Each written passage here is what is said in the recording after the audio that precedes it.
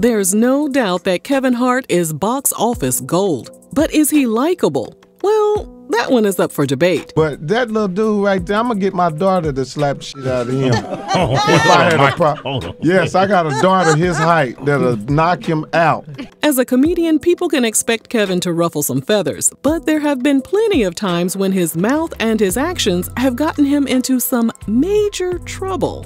A lot of people don't like him because of the way he treated his ex wife, Torrei. But today, we'll be discussing other incidents outside of his romantic life that have rubbed people the wrong way.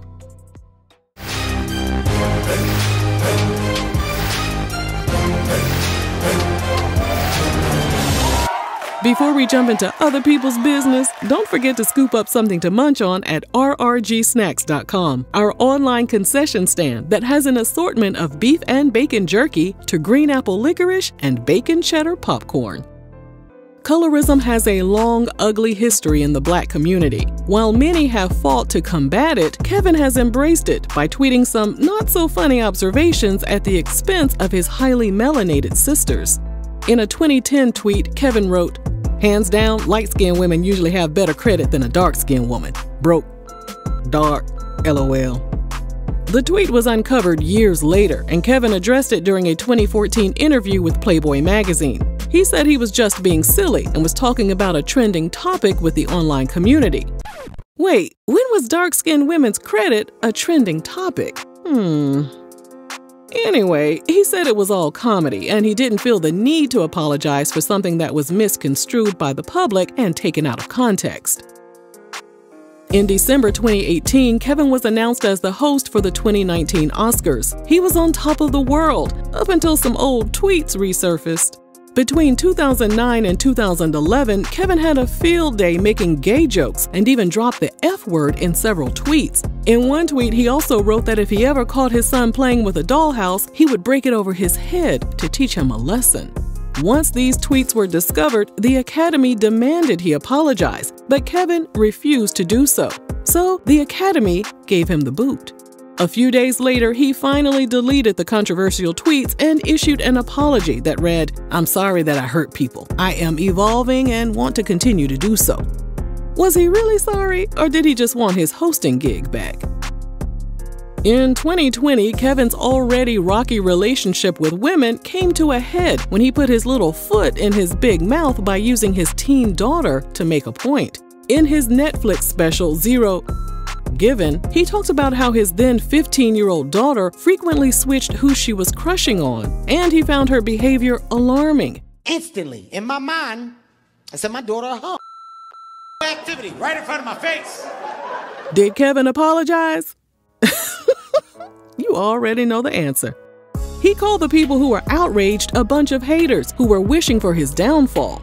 So Kevin posted a video on Instagram imploring people to stop with the false narrative. He said he never called his daughter a, he only said she was displaying like activity. Although Mike Epps and Kevin were cool at one point and even worked together, their friendship eventually soured and they've been beefing since 2011. The beef started with me cracking a joke. We was I was talking about him like, oh look at you, you got some ugly shoes, blah blah blah blah. And he went there and started talking about my career. During a 2014 appearance on Dee in the Morning, Mike called Kevin an overrated comedian and that the industry was forcing Kevin on the public. Kevin tweeted he personally missed the comments because he was busy working and wondered if Mike remembered what that was like. Here's my thing. Dude, don't come for me. We're two different levels. Until you do better with your ticket sales, leave Kevin Hart name out your mouth.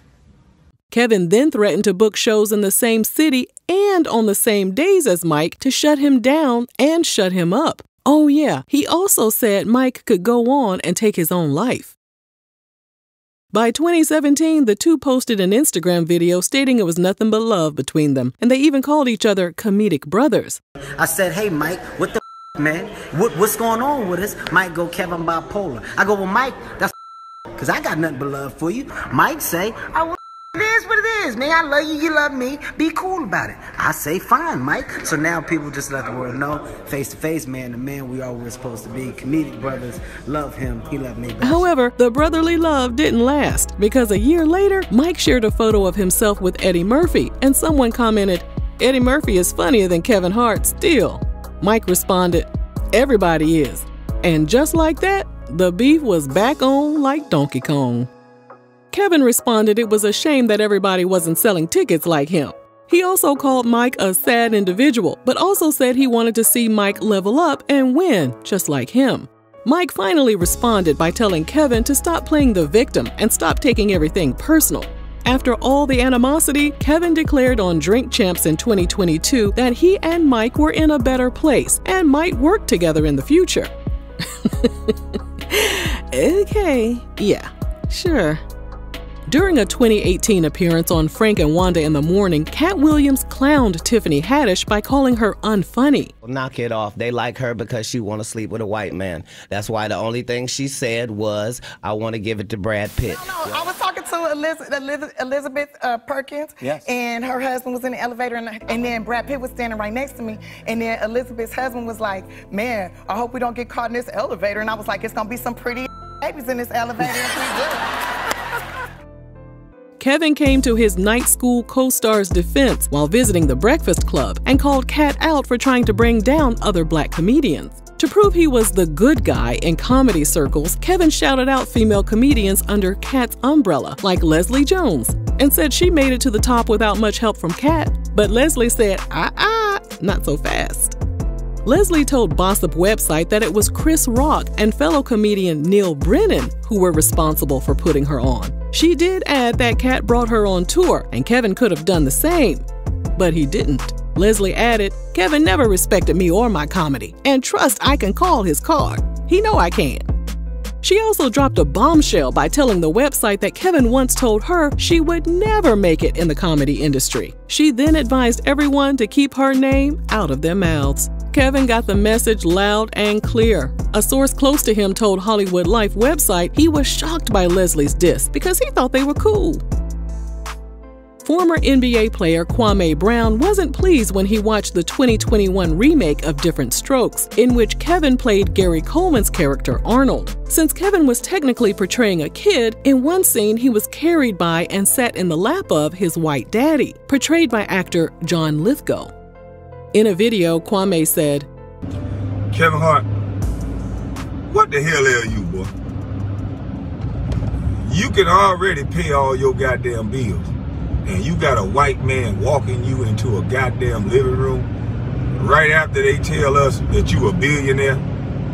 They still gonna show us that you still a weak millionaire, billionaire puppet, in my opinion.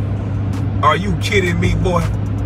And I'm gonna call you boy because that's how they look at you. As of this video, it appears that Kevin hasn't responded to Kwame's rant. These days, Kevin is everywhere, from our TV screens to the big screen. Although some people still don't find him funny and others have written him off because of the things he's said in the past, he remains booked and busy. In a June 2021 tweet, Kevin said he's not worried about the naysayers because he has been the highest grossing comedian in the industry for the past few years. And now he has moved into the food industry by opening his own vegan fast food restaurant. In other words, regardless of what people think about him, Kevin's going to continue to cash checks. If you enjoyed this video, let us know down below. And thanks for watching RRG.